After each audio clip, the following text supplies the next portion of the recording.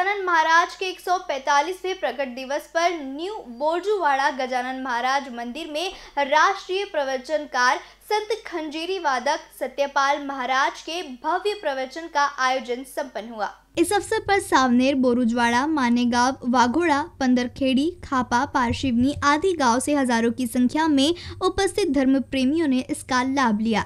इस अवसर पर संत खंजेरी वादक प्रवचनकार सत्यपाल महाराज ने अपने प्रबोधन में समाज में चल रही बुराइयाँ, कुप्रथा भ्रूण हत्या अंधविश्वास आदि पर कटाक्ष कर इन सभी से बचने तथा परिवार तथा गाँव को बचाए रखने की विनती की।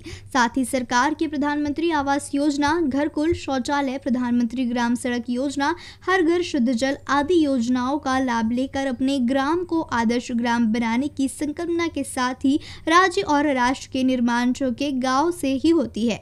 ग्रामीण तथा ग्रामीण वासियों के उत्थान नहीं होगा, तब तक राज्य और राष्ट्र के विकास की संकल्पना पूरी नहीं हो सकती। इधर किसान आत्महत्या कर रहे हैं और सरकार अपनी कुर्सियाँ बचाने में लगी है, इसीलिए जैसा भी वक्त आए हमें हिम्मत नहीं हारनी चाहिए। सुख तो दो दिन का मेहमान है, लेकिन दुख हमारा सच्चा साथी है। यही हमें संकट से उभारने तथा कौन अपना और कौन पर आया इसका परिचय कराता है। पद प्रतिष्ठा, सत्ता, कुर्सी, सरकार सब बेकार है, ऐसा इन्होंने कहा। सत्यपाल महाराज ने अपने संबोधन में कहा कि पद प्रतिष्ठा, सत्ता, कुर्सी, सरकार सब बेकार है। इसका कभी भी अभिमान मत करना, क्योंकि यह क्षणिक है। जैसे समय बदल रहा वैसे सब कुछ, संपदा, ऐश्वर्य चला जाता है। यह एक भूल भुलैया है। अगर इंसान बनना है तो संतों द्वारा बताए मार्ग पर चलो, वही कल्याण है। क्या कभी गजानन महाराज राष्ट्र संत जी महाराज कोई चुनाव लड़े? क्या कभी उन्होंने भाषण ठोका नहीं ना?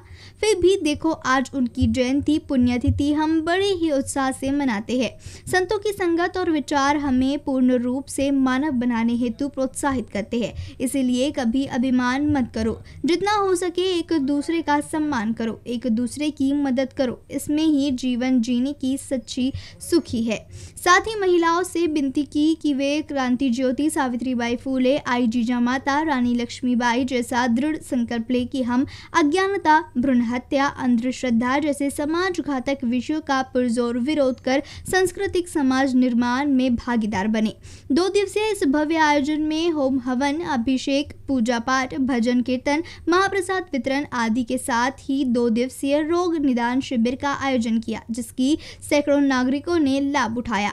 आयोजक ने सफलतार्थ श्री संत गजानन महाराज देवस्थान, न्यू बोरजुवाड़ा के राजू भाव कांबे, विजय ठवरे, विजय गायकवाड़, उमेश बोंगाड़ अमित धमदर आदि ने परिश्रम लिया. वहीं दो दिवसीय भव्य रोग निदान शिविर में doctor Swapnil Kambe doctor Amol Pande doctor Shivani Kambe doctor Kedar Dandare doctor Swapnil Nagare आदि ने सहयोग दिया.